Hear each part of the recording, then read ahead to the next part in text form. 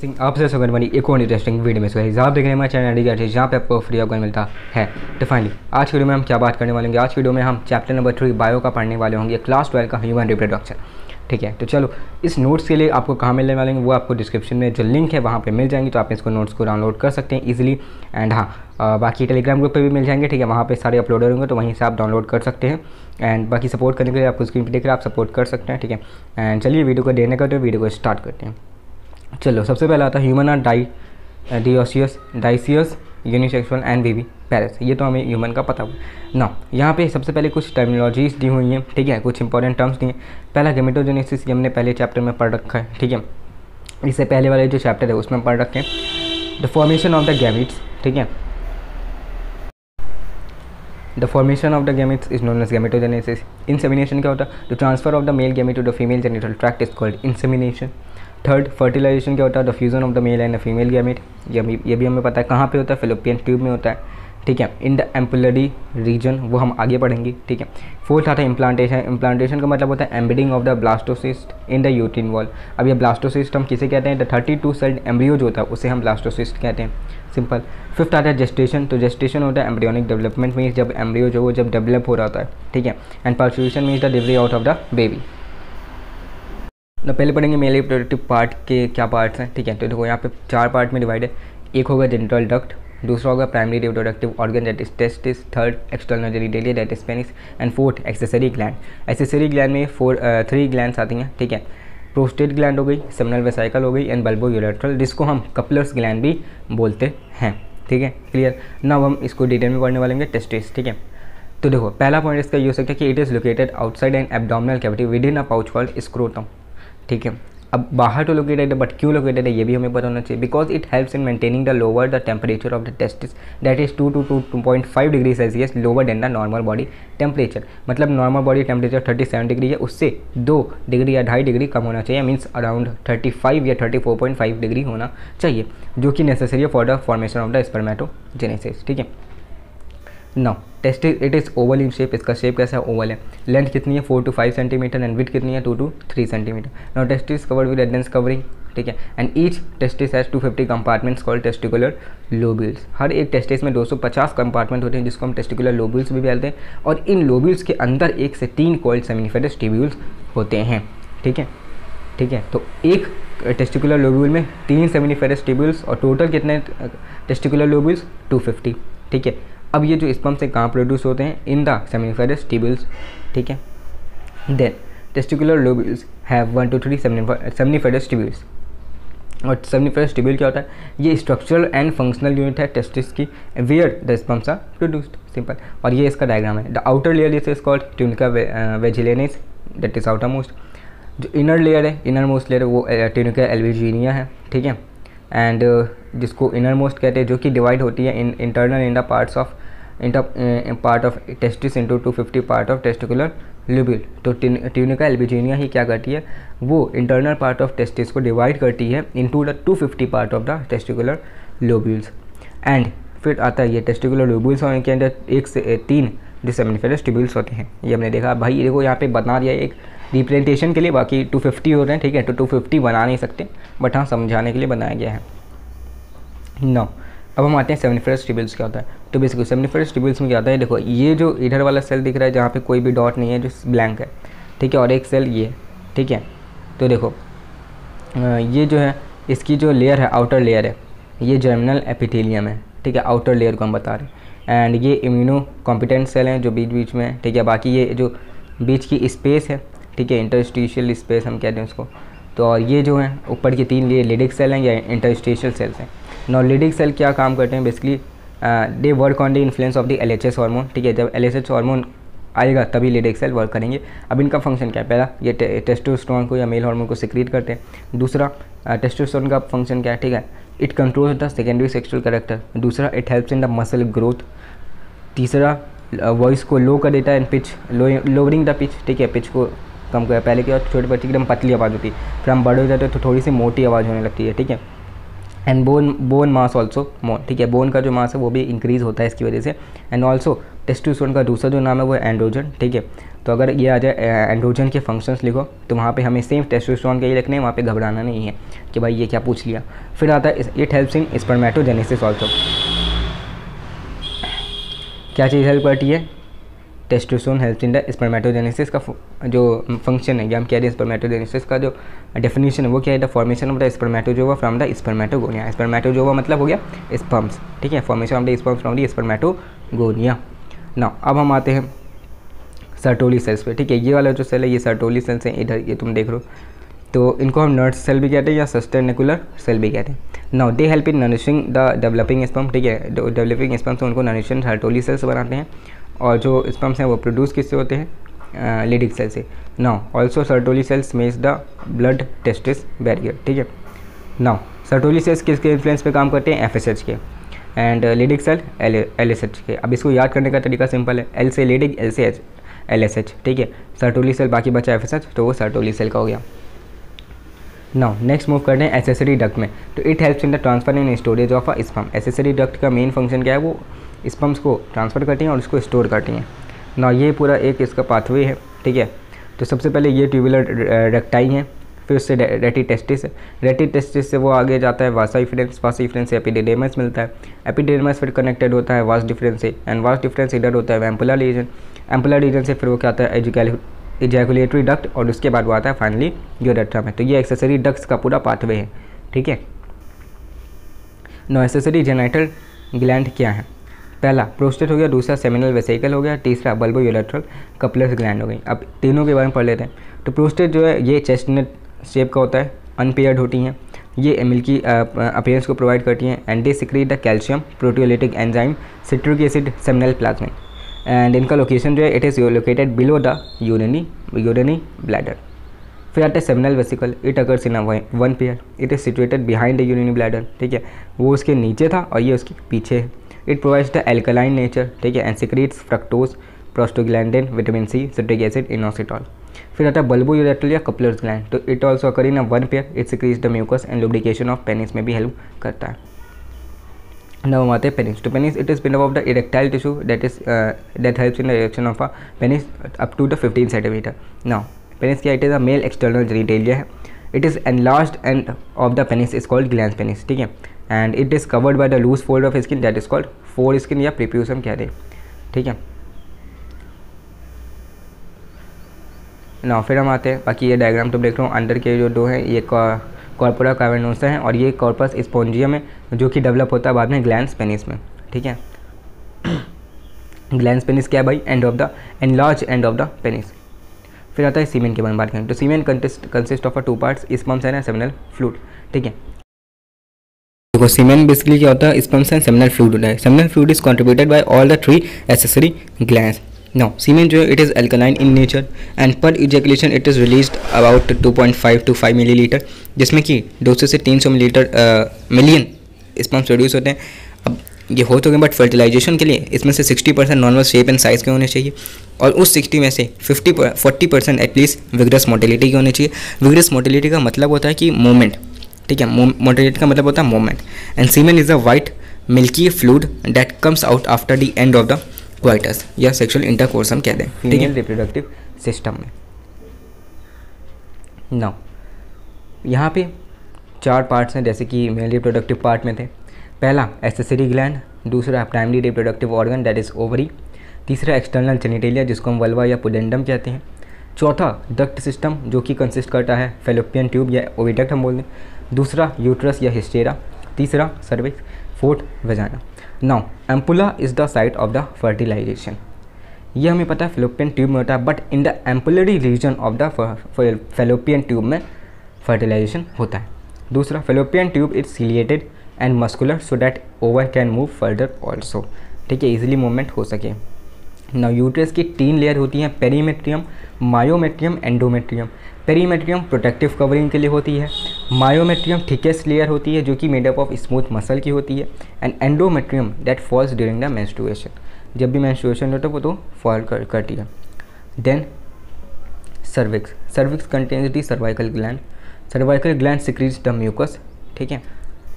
तो हमें यहाँ से ये पता चला कि जो यूट्रस है ठीक है उसमें उसके बाद हम सर्विक्स की बात करें तो, तो सर्विक्स क्या है? It contain the cervical gland और सर्वाइकल ग्लैंड क्या होती है? म्यूकस को सिक्रीट एंड वेजाइना क्या होता है? It is a copulatory canal फिर हम बात करते हैं बर्ड कैनाल क्या होता है? तो birth canal basically cervical gland plus vagina उसी को हम बर्ड कैनाल बोलते हैं.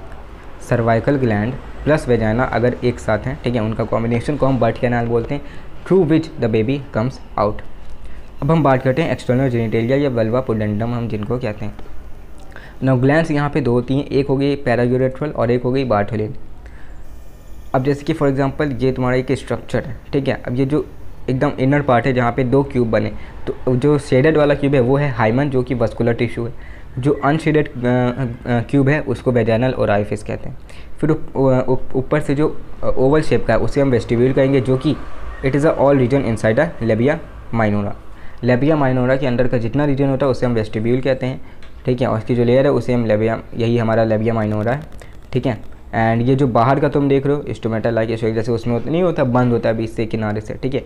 तो वैसे ये लेबिया मेजोरा जिसको हम थिक लिप भी कहते हैं एंड ऊपर टिप टाइप में जो है वो है कोन टाइप में जो है, उसको हम क्लेटोरिस बोलते हैं, जो कि स्मॉल इरेक्टाइल टिश्यू होता है एंड ये यूरेट्रल ओपनिंग है, ये स्मॉल जो सर्कल बना हुआ है, ठीक है डॉट और ऊपर मॉन्स प्यूबिक तो ये हो गया एक्सटर्नल जेनेटेलिया वल्वापोडेंडम का एक स्ट्रक्चर नौ यहाँ पे जो क्वेश्चन आता है डिफ्रेंशिएटर का डिफ्रेंशिएट अगर हम करें स्किन एंड बार्थोलिन ग्लैंड में तो स्किन जो है it is present inside the urethral gland और बार्थोलिन जो होती है, वो it is present outside the urethral gland अब स्किन जो है it secretes the mucus and जो बार्थोलिन है, वो इट सिक्रीज द म्यूकस तो ये तो दोनों का फ़ंक्शन एक ही बस ये है लोकेशन अलग अलग है.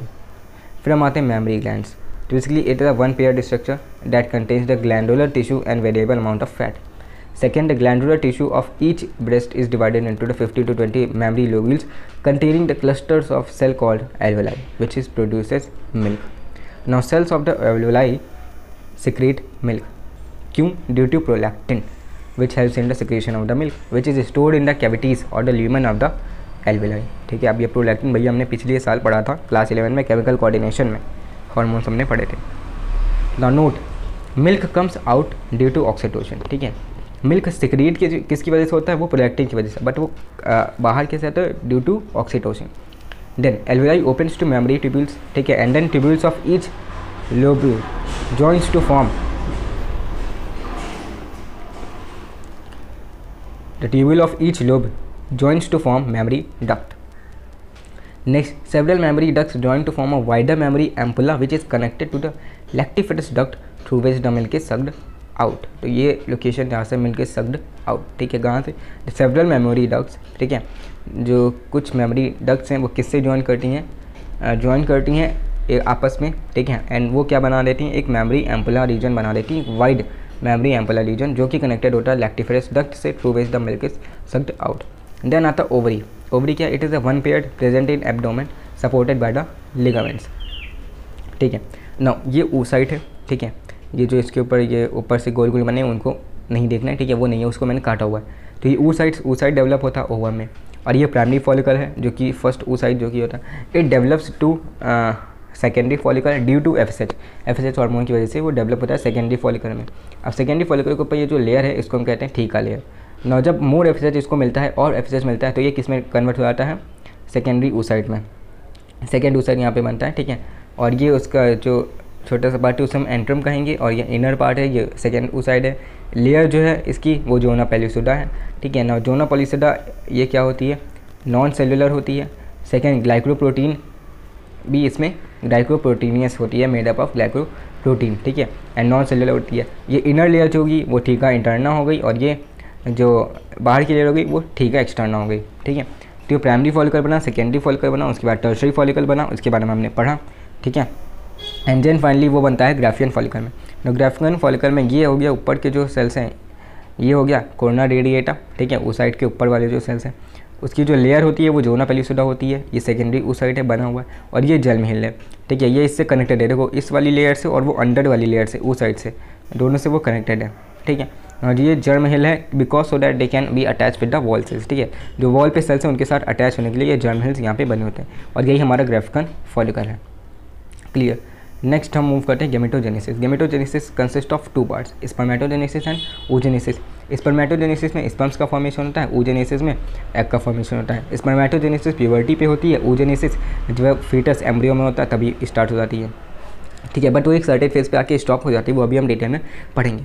नो स्पर्मेटोजेनेसिस पहले पढ़ेंगे it is the process of formation of the sperms from the spermatogonia no release of the sperms is called spermiation जो कि होता है फ्रॉम द सर्टोली सेल्स ठीक है? ना ये है फ्लोचार ये तुम्हारी एन में भी है, तुम देखो। ये स्पर्मेटोजेनिस स्पर्मेटोगोनिया जो कि हैप्लॉइड है, ठीक है? जो कि माइटोसिस होता है तो ये मतलब 46 46 फ़र्स्ट स्पर्मेटोसाइट बनाता है। फिर मियोसिस होता है, इस मियोसिस से जो कि डिडक्शनल डिवीज़न 23 23 में डिवाइड होगा, और ये मियोसिस टू यहाँ पे होता है सेकेंडरी स्पर्मेटोसाइट है। ठीक है, यहाँ से मियोसिस टू और 23 23 23 23 फोर पेयर बनाया। यहाँ पे फोर सिंगल बनाया, दो पेयर बनाए, ठीक है। तो यहाँ पे स्पर्मेटिड बना स्पर्मेटिड से डिफ्रेंशिएशन तो स्पर्म्स बना है अब इसको सिंपल समझने का ये रीज़न है, ठीक है। कि स्पर्मेटोजेनेसिस क्या होता है? The formation of the sperms from the spermatogonia is called spermatogenesis but the formation of the sperms from the spermatid या हम कहते हैं सेकेंडरी स्पर्मेटोसाइट उसमें हम कहेंगे स्पर्मियोजेनेसिस तो ये डिफरेंस यहाँ पे है। ठीक है? नो इसका मैकेनिज्म क्या है? तो गुनाडोट्रॉपिक रिलीजिंग हार्मोन जो होते हैं जी एन आर एच ठीक है? दो तरीके के हैं यहाँ पे F H and L H now F H क्या करता है? It goes to Sertoli cells and Sertoli cells में जाते वो वहाँ पे इनिबिट करता है मीन्स नेगेटिव फीडबैक देता है. बट एल एच जो है ल्यूटिनाइजिंग हार्मोन वो जाता है लिडिक सेल में और वो टेस्टोस्टेरोन बनाता है. अब टेस्टोस्टेरोन का भी नेगेटिव फीडबैक मिलता है but it leads to but ये जो टेस्टोस्टेरोन है और जो सर्टोली सेल्स हैं, ये दोनों आपस में आके लीड टू स्पर्मेटोजेनेसिस जिसकी वजह से स्पर्मेटोजेनेसिस होता है. फिर फिगर जो स्पर्म का है, वो एनसीआरटी में भाई वो देख लेना, ठीक है? नहीं तो अगर पॉसिबल हो पाया तो मैं यहाँ पे स्क्रीन पे लगा दूँगा, ठीक है? ना formation of the female gamete is called oogenesis ठीक है? इसका भी फ्लो चार्ट ये सेम एनसीआरटी में बना हुआ है। तो देखो, ये फीटस लाइफ है, ये बर्थ की चाइल्डहुड है, फिर ये पिबर्टी है और ये एडल्ट लाइफ है। तो देखो, ये ऊगोनिया है, ठीक है? डिप्लॉयड है, ठीक है? तो यहाँ से क्या बना, ठीक है? सॉरी यहाँ पे मैंने हैप्लॉइड बोला था क्या इस स्पर्मेटोगोनिया में? हाँ ये भी डिप्लॉयड है। तो माइटोसिस डिफ्रेंशिएशन होता है, ये प्राइमरी ऊसाइड बना देता है। अब प्राइमरी ऊसाइड कहाँ मिलता है? It is found in primary follicle after the puberty in the secondary follicle ठीक है? पहले ये प्राइमरी फॉलिकल में बनता है, ठीक है? अब आफ्टर प्यूबर्टी ये सेकेंडरी फॉलिकल में कन्वर्ट हो जाता है। तो यहाँ पे ये प्राइमरी ऊसाइड बना है। प्राइमरी ऊसाइड के बाद फ़र्स्ट मियोटिक डिवीज़न होता है मतलब रिडक्शनल डिवीज़न होता है बट ये देखो यहाँ पे लिखा है, ये प्रोफेस वन में खत्म हो जाता है, ठीक है? वहाँ पे सॉरी स्टॉप हो जाता है। अब प्रोफेस माने भैया, ये क्या है? ठीक है? तो प्रोफेस तुम्हें पता है, देखो, इस तरीके से याद कर लो P mat P mat prophase metaphase anaphase telophase ठीक है? तो पी क्या है? पहला स्टेज है सेल डिवीज़न का सेल साइकिल का, ठीक है? तो यहाँ से तुम फ़र्स्ट सेल डिवीज़न साइकिल में, ठीक है? फ़र्स्ट स्टेप जो होता है प्रोफेस वहाँ पे ये स्टॉप हो जाता है ये प्रोसेस ठीक है? ऊजेनेसिस का। देन वो सेकेंडरी उस साइड में डेवलप होता है, कब? एट द प्यूबर्टी और वहाँ पे एक पोलर बॉडी बनती है और एक बॉडी बनती है। तो पोलर बॉडी उसका कोई मतलब नहीं होता बिकॉज़ उसके पास उतना सफिशियंट न्यूक्लियस और न्यूट्रिएंट कुछ रहता नहीं है तो उसको हम नेग्लेक्ट कर देते हैं। मेन जो बॉडी बनती है, वहाँ पे फिर सेकेंडरी उसाइड बनता है। तो इट इज़ अ टर्सरी और द ग्राफिकन फॉलिकल ठीक है? सेकेंडरी उसाइड को ही हम टर्सरी या ग्राफिकन फॉलिकल कहेंगे, जो कि मेटाफेज में आके पी मैट प्रोफेस के बाद क्या है? मेटाफेज वहाँ पे आके रुक जाती है। And then adult reproductive life में बाद में जब फर्टिलाइजेशन होता है तब वहाँ पे ओवम या ओवा वहाँ फिर वहाँ पे एडल्ट रिप्रोडक्टिव लाइफ में ओवम बन जाता है, जहाँ पे एक और फिर से सेकेंड पोलर बॉडी बनती है, जिसका कोई मतलब नहीं है। और एक बॉडी बनती है, जिसको हम कहते हैं ओवम या ओवा नो ओविलेशन क्या होता है? Release of the egg is called ovulation इसका जो मैकेनिज्म है, वो क्या है? तो देखो एफ़ एंड एल ये हमको पता है। एफ़ क्या करता है? It helps in the ovarian follicle ठीक है? It helps in the growth of the ovarian follicle ठीक है? उसकी ग्रोथ में हेल्प करेगा, और फिर वो क्या करेगा? सिक्रेट करेगा स्ट्रोजन ओविलियन फॉलकर क्या करता है? स्टूडेंट को सिक्रीट करता है। स्टूडेंट जो है वो पॉजिटिव फीडबैक देता है। Gets positive feedback of L उसको एल का पॉजिटिव फीडबैक मिलता है but it also gives the negative feedback to F ठीक है? नाउ एल का एल का क्या काम है? इट रप्चर्स द फॉलिकल ठीक है? रप्चर का मतलब क्या? है झरना हम कह सकते हैं। ठीक है? जिसको हम ओविलेशन कहते हैं rupturing of the follicle now it makes after the rupturing ठीक है? It makes oocyte if it get sperm अगर स्पम मिलता है उसको तो वो साइड से then it converts into ovum अगर उसको नहीं मिलता है तो कॉर्पस ल्यूटियम जो है, वो एक बॉडी होती है येलो कलर की, जो कि एंडोक्राइन बॉडी की तरह एक्ट करती है. It also secretes the progesterone and oestrogen अब प्रोजेस्ट्रॉन क्या है? It gives negative feedback to L H N F H both and जो कॉर्पस ल्यूटियम बॉडी है, ये क्या करती है? It regresses to form the white colour body called corpus albicans, जो कि later degenerate and burst, ठीक है, जो कि बाद में जाके डी जनरेट और फूट जाती है, बर्स्ट हो जाती है, फट हो जाती है, जिसको हम कहते हैं, ठीक है।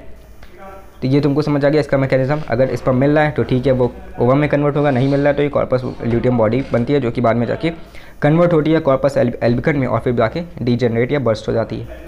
क्लियर नेक्स्ट हम चलते हैं मैंस्ट्रुअल साइकिल आई थिंक ये लास्ट टॉपिक है, ठीक है मतलब सेकेंड या लास्ट है। मेंस्ट्रुअल साइकिल क्या है। It comes from the word menses menses का मतलब क्या? अट्ठाईस से उनतीस दिन। Simple the first menstruation cycle begins at the puberty called menarche ठीक है? ये एक माँ के क्वेश्चन में जहाँ तक आ सकता है। ठीक है? बट फिर आता हम आते हैं मेन्यू पॉज मेन्यू फेस क्या होता है? Cessation of the menstrual cycle ठीक है? सेसेशन का मतलब क्या? है स्टॉपेज जब मेंस्ट्रुअल साइकिल एकदम कम हो जाती है या बंद हो जाती है, जो कि at the age of fifty होता है। ठीक है?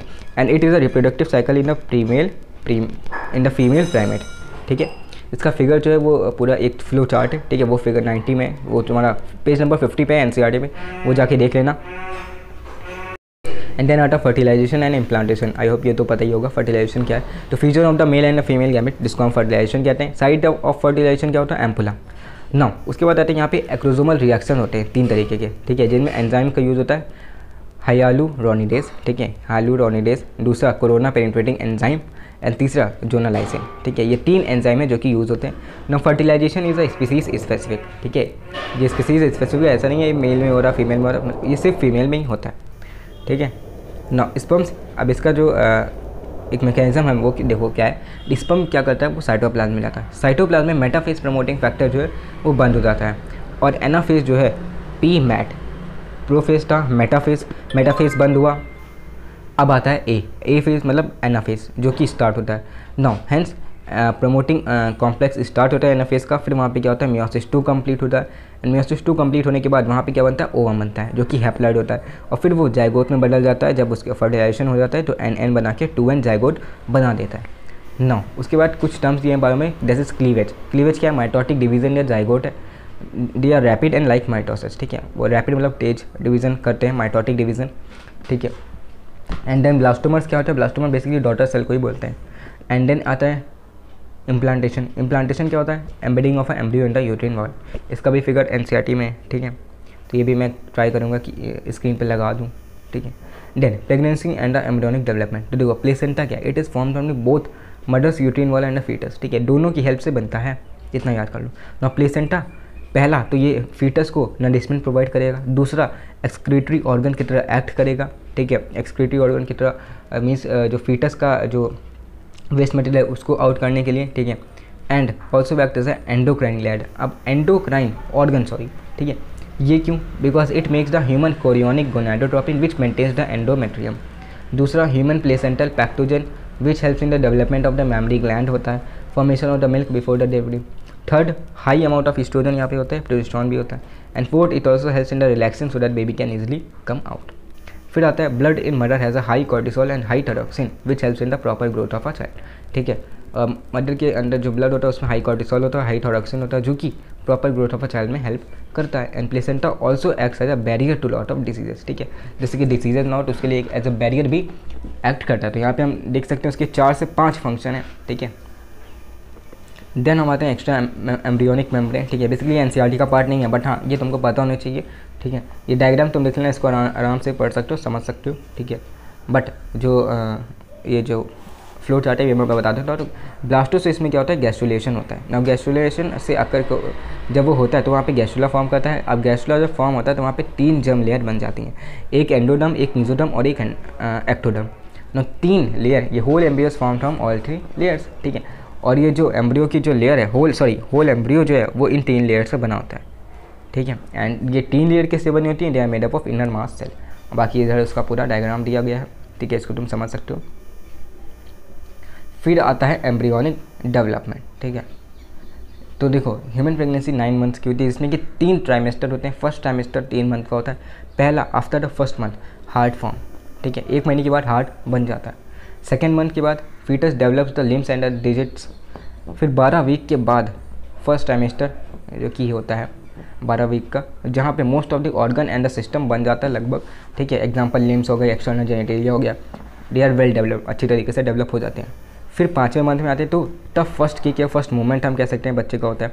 And appearance of the hair on the head of the foetus फिर आते हैं by the end of the twenty week ठीक है the body is covered with the fine hair eye separate हो जाती हैं आई बन जाते हैं and by the end of the nine month foetus जो वो फुल्ली डेवलप हो जाता है और for it is ready for the delivery now parturition आता है पाचुरेशन क्या है? बेसिकली यही है delivery of the fully grown foetus ना इसका सिग्नल कहाँ से आता है?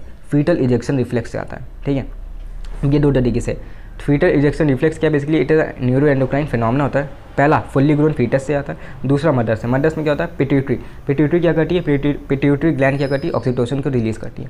और जब इसका विग्रस कॉन्ट्रैक्शन होने लगता है ऑट एज ठीक है? और जब ये एक्सेस अमाउंट में जब रिलीज़ होता है तो वहाँ पे विग्रस कॉन्ट्रैक्शन होने लगता है, जिसकी वजह से फीटस जो है वो कम, वो इट कम्स आउट ठीक है? एंड बाद में क्या होता है? जब फीटस बाहर आ जाता है तो प्लेसेंटा को फाइनली रिमूव कर दिया जाता है। And this is all about the human reproduction I hope एकदम अच्छी तरीके से क्लियरली समझ आ गए होगे। एन बेस्ड मैंने बताया, ठीक है? बस वही था एक्स्ट्रा एम्ब्रियोनिक मेम्ब्रेन वाला, वो थोड़ा सा बाहर का था। बट हाँ बाकी और सब एन का, हर एक चीज़ तुमको एन सी में मिलने वाली होगी, ठीक है? तो I hope you are like the session अगर पसंद आया हो तो प्लीज़ एक लाइक कर देना और वीडियो को शेयर कर देना चैनल पर नहीं भाई चैनल को सब्सक्राइब कर देना। एंड हाँ किसी next video till then good bye enjoy Jai Hind and support करने के लिए तुम स्क्रीन पर देख सकते हो। सपोर्ट कर सकते हो, ठीक है? बाकी मैं तो कंटिन्यू ही रहूँगा, ठीक है? तो चलो मिलते हैं किसी नेक्स्ट जय भारत बाय बाय